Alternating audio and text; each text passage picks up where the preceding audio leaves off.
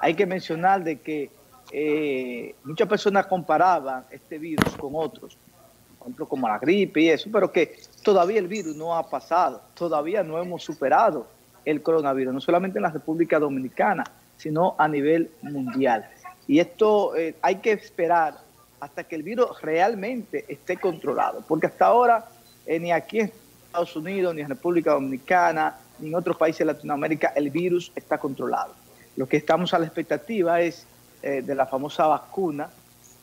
la cual hay mucha disyuntiva de que si ya está lista, de que si está el laboratorio, de que si está el país, pero en lo que la HIV viene siguen falleciendo personas. Y en República Dominicana eh, lo que se vislumbra y el pronóstico es que vamos a superar los 1.500 muertos. Eh, con, el pronóstico que tenemos ahora de la cantidad de contagios y el tema de la saturación en los centros de salud que están ya prácticamente a su máxima capacidad. Eh, recordemos que en Santiago ya están sobre el 100% de, de su capacidad y esto es lo preocupante eh, cuando las personas llegan a emergencia ya en un estado eh, delicado, eh, a, quebrantado con el virus, se le hace difícil a los médicos poder darle las atenciones que conlleva ¿no? un paciente afectado de COVID-19. Y esto es, eso es lo delicado. Y seguimos pregonando y diciéndole a la gente que aunque usted sea sintomático, piense en su vecino, su hermano, su tío, su abuela, su mamá, su papá, porque e, e, ese, esa es la trampa de este virus. Unos son afortunados de tener un sistema inmunológico que prácticamente eh,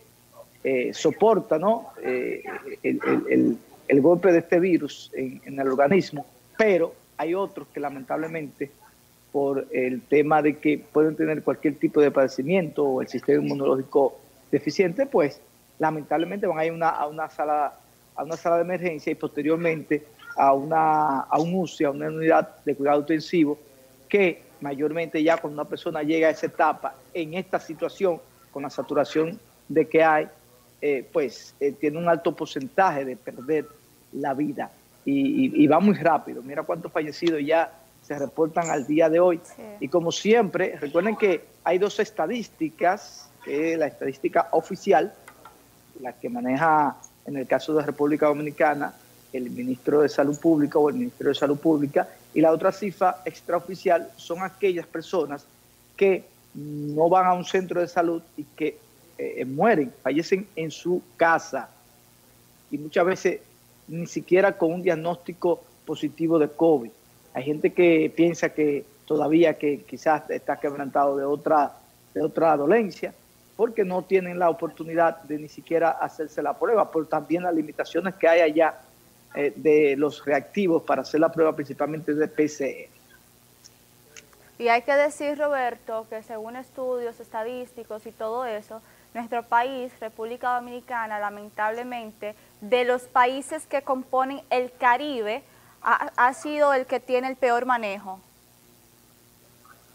Bueno, imagínate, con esta situación ahora, porque aparte de, esta pandemia, nos cayó en medio de un proceso electoral y ahora en medio, porque son dos cosas totalmente distintas, en medio de un proceso de traspaso de mano. Porque son dos cosas distintas. No es lo mismo que en el caso del PLD hubiese ganado las elecciones pasadas, pues hubiese sido más fácil la continuidad de las autoridades, principalmente de salud, entre otras. Y, eh, por ejemplo, el Comité de Alto Rango, eh, que está dirigiendo las estrategias para combatir el COVID. Al haber cambio de, ahora cambio de mando, pues eh, hay otro proceso. Fíjate que la comisión médica que ha designado el presidente electo Luis Abinader no ni siquiera se ha reunido con las autoridades de salud, mucho menos con, mucho menos con el, el el comité de alto rango que lleva a cabo todo lo que tiene que ver con, el seguimiento al COVID. Ellos están eh, haciendo su estrategia. Yo también tengo las esperanzas porque son la mayoría grandes profesionales eh, de la medicina eh, y que me imagino automáticamente el 16 de agosto van a poner en marcha su plan que tienen como se dice en el argot popular, su carta debajo de la manga para ver si eh, la estrategia que ellos eh, implementan pues tiene mayor impacto que la que se han estado haciendo hasta ahora. Eh, estamos en un estado de emergencia, aunque como los mismos empresarios, ayer colocamos las declaraciones del comerciante Eufemio Vargas de San Francisco de Macorís, donde él decía que él esperaba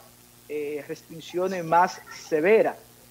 Lo mismo esperaba yo, incluso mucha gente que han sido encuestadas han dicho que esperaban restricciones más severas en este estado de emergencia. Hasta ahora no hemos limitado al uso obligatorio de la mascarilla y al tema del horario, pero creo que todavía un toque, Un toque de queda súper simple, hay que decir aparte, muy simplista. Sí, porque, porque la gente ha, seguido, eh, eh, deberían de, ser más drásticos, principalmente en las provincias donde hay mayor eh, casos, eh, por ejemplo, Santiago, Nuevo Santo Domingo, eh, San Francisco de Macorís, por ejemplo, en Castillo, oigo mucha gente quejándose que, que hay muchos casos y que no se han podido hacer las pruebas, porque esos casos que tú acabas de dar en el boletín son los casos que estadísticamente ya se han hecho la prueba y van al, al, sistema ¿no? Del COVID-19 que está en Santo Domingo en el C5I, pero eso que no se realiza en la prueba no salen y que ya cualquier persona, no hay que ser un médico ni un especialista para diagnosticarlo al ojo por ciento cuando una persona tiene COVID, porque los síntomas eh, son ya muy conocidos y se diferencia de una gripe normal. Entonces, automáticamente un familiar tuyo, un amigo, tiene tos, tiene dolor de pecho, tiene fiebre continuamente, ¿eh? ya automáticamente es una persona y, eh, comienza ya con el problema respiratorio, automáticamente tú una vez dices, ok, es un paciente que tiene toda la posibilidad de tener COVID-19.